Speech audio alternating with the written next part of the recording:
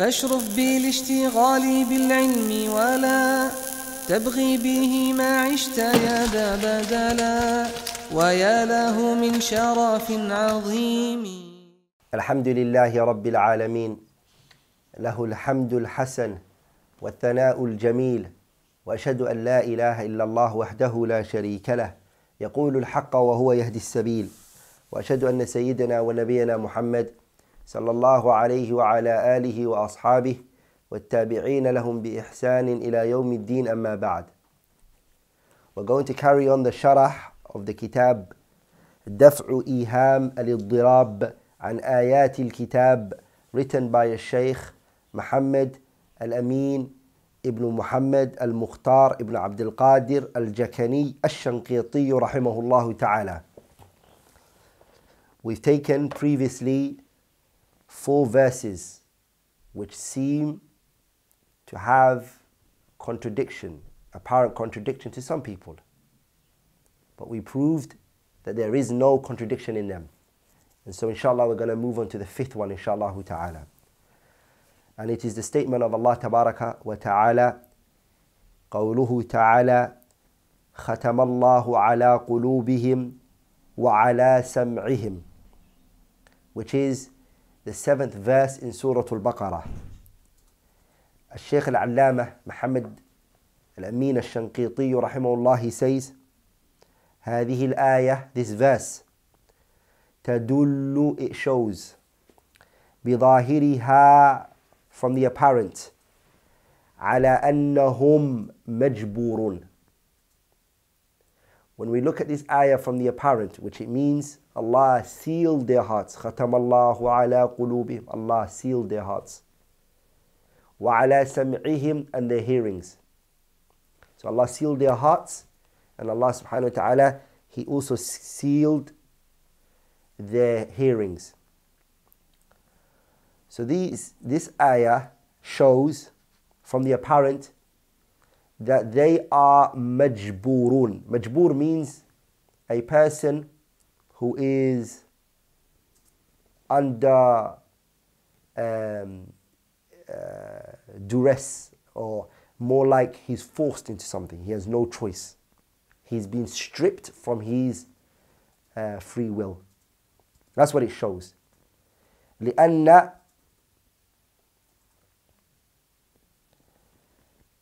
The Sheikh says, Muhammad Amin Shanqiti, لأن من ختم على قلبه because the one whose heart has been sealed وجعلت الغشاوة على بصره and Allah placed a veil on his eyes for him to see. So the one whose heart has been sealed and his eyes have be, ha, has been veiled سُلِبت منه القدرة على الإيمان what has been taken from him or stripped from him is the ability in believing. So he's, he's been, this, the, the ability and the, uh, of believing is being stripped from him. وقد جاء في آيات أخر There has come, so this person is forced now, he has no choice. He's just really um, uh, the outcome of the actions of Allah Tabaraka wa Ta'ala. In other words, that's what comes out of this. It's a problem. But there are other verses, which again are the verses that seem to be contradicting this verse, which is that وقد جاء في آيات أخر ما يدل على أن كفرهم واقع بمشيئتهم وإرادتهم. But then we have other verses that state they have fallen into disbelief and they have fallen into uh, misguidance due to their own free will and their own want. As Allah Tabaraka wa Ta'ala said, فَاسْتَحَبُّ الْعَمَى عَلَى الْهُدَى They chose blindness over guidance.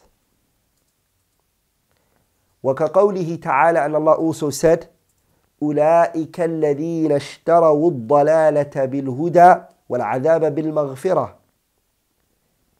They are the ones who gave who chose misguidance over guidance. They brought misguidance over guidance. They gave precedence to misguidance over guidance and the punishment over the forgiveness. And also Allah Tabarak wa Ta'ala says, فَمَنْ شَاءَ فَلْيُؤْمِنْ وَمَنْ شَاءَ فَلْيَكْفُرْ Whoever wills and wants, let him believe. And whoever wills and wants, let him disbelieve.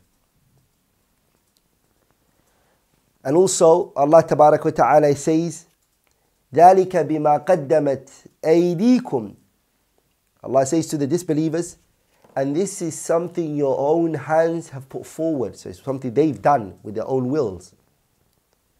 Also Allah Tabarak wa Ta'ala He says, لَبِئْسَ مَا قَدَّمَتْ لَهُمْ أَنفُسُهُمْ Evil is what their hands have put forward for them. So all of these verses show that what's happening to them and what's taking place is due to their actions. It is due to their it is due to their actions and what they have put forward.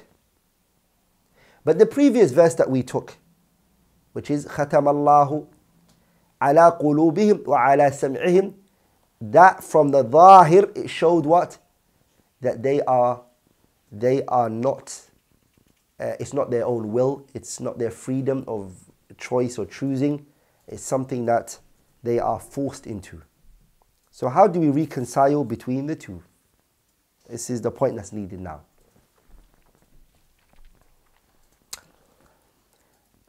This answer, inshallah ta'ala, that the Sheikh is going to give is a summary, is a khulasa, is a quick and an uh, answer.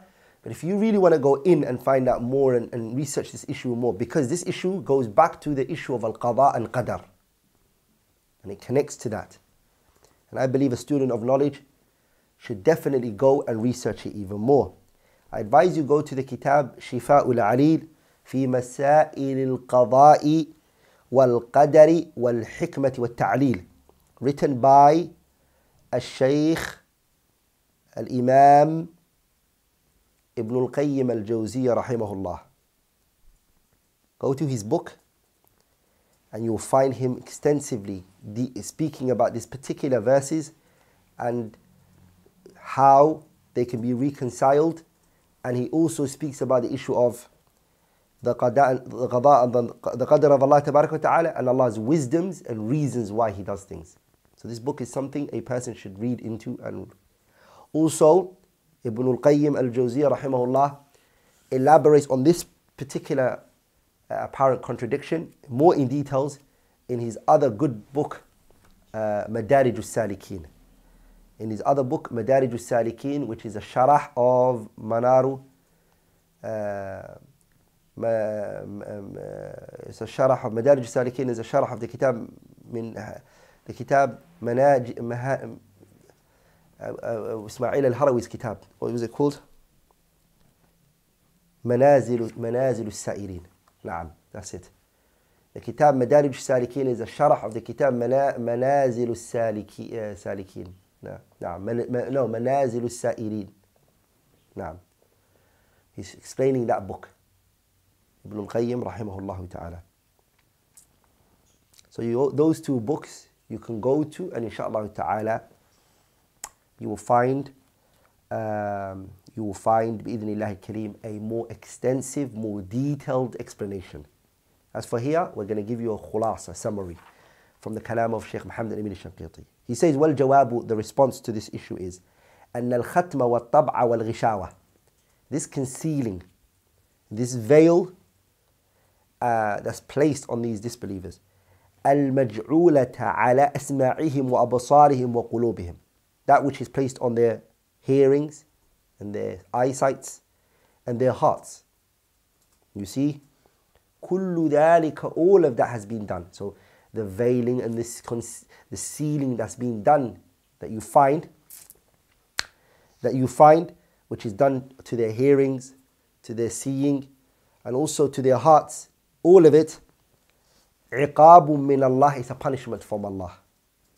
Lahum for them. So it's a punishment from Allah ta'ala towards them. And the reason why Allah ta'ala is punishing them is uh, the Shaykh is going to explain to us. من الله لهم على مبادرتهم للكفر وتكذيب الرسل باختيارهم ومشيئتهم. The reason why Allah ta'ala is punishing them for is them hastening to, them rushing to. What? للكفر disbelieving وتكذيب الرسل disbelieving the messengers. With the, they the, they're the ones who chose to disbelieve in the prophets. They hastened to that. As soon as the messenger came out, and every messenger, as soon as they came out and they told their people, Ubudullah worship Allah. Ma lakum min ilahin ghayru. You have no ilah other than Him. Worship Him, subhanahu wa ta'ala. Straight away, without thinking, without assessing the situation, without having a dialogue with that prophet or that messenger, they hasten straight away to disbelieving in the messenger and accusing him of that which he's freed from. When they done that with their own will and they did that with their own will and their own want, then Allah punished them subhanahu wa ta'ala by sealing their hearts and their ears and their eyesight from seeing the truth. فعاقبهم الله Allah punished them بعدم توفيق Allah He punished them by not allowing the guidance to enter them. جزاء وفاقا. And this was in response to the action that they just done, they done. And Allah He says كما بينه تعالى بقوله as Allah explained in His statement بل طبع الله عليها بكفرهم Allah Tabarak wa Ta'ala He sealed their, their hearts بكفرهم because of their kufr لأن الباء here is باء سببية بسبب كفرهم because of their disbelief that they hastened to and they came with straight away because of that Allah تبارك وتعالى He sealed their hearts also Allah تبارك وتعالى says ذلك بأنهم آمنوا ثم كفروا فطبع على قلوبهم Allah says here ذلك and the reason for this is because they believed and then they chose to disbelieve. فَطُبِعَ عَلَى قُلُوبِهِمْ So their hearts got sealed. There were people who were playing around. They were not taking the religion of Allah and the messengers to, they weren't taking them serious. Also Allah Tabaraka wa Ta'ala He says, وَنُقَلِّبُ أَفْئِدَتَهُمْ وَأَبْصَارَهُم كَمَا لَمْ يُؤْمِنُوا بِهِ أَوَّلَ مَرَّةٍ Allah says, we turned the hearts and their eyesights from the truth just like they didn't believe in it when it first came to them. Also Allah Ta'ala He says, فَلَمَّا زَاغُوا When they deviated, أَزَاغَ اللَّهُ قُلُوبَهُمْ Allah turned and their hearts away. Subhanahu wa ta'ala. وقوله and also the statement of Allah في قلوبهم مرض في قلوبهم مرض in their hearts is illness. فَزَادَهُمُ اللَّهُ مَرَضًا Then Allah increased them in illness. So they had to come with the illness them, themselves first. And they had to hasten to that illness which is kufr and nifaq and hypocrisy and disbelief. Once they came with that, then Allah concealed their hearts, He sealed their hearts. Also Allah Tabarak wa Ta'ala, he's, the Shaykh brings another verse to support this which is بَلْ رَانَ عَلَى قُلُوبِهِمْ مَا كَانُوا يَكْسِبُونَ Rana means their heart became darkened and tainted from the sins that they came with. على قلوب ما كانوا يكسبون because of the act that they came with. So the heart got affected, that it got sealed because of the actions and the statement and the things that they put forward. And the Shaykh went on to saying, إلى غير ذلك من الآيات and many other ayats that are like this. So, what we now come to know is that the sealing of the hearts of the disbelievers and their eyes and their ears from taking the truth is because of what? What's the reason? Is it because Allah Ta'ala is oppressing them and just chose to make them deaf, dumb, and blind and dumb? Or did He subhanahu wa ta'ala first of all send them a messenger or a person who's calling them to the religion and then they out of arrogance and stubbornness, chose to insult and name calling, and then Allah Ta'ala sealed their hearts. The second one is what, what happened. So inshallah ta'ala, I hope it's now clear and now you understand better. Uh, anything which I have said that was wrong, فَإِنَّهُ مِنِّي وَمِنَ الشَّيْطَانِ وَاللَّهُ وَرَسُولُهُ بَرِيئَانِ مِنْهُ Anything which I have said that was wrong is from me and shaitan and Allah and His Messenger are free from it. سبحانك اللهم بحمدك أشهد أن لا إله إلا الله أستغفرك وأتوب إليه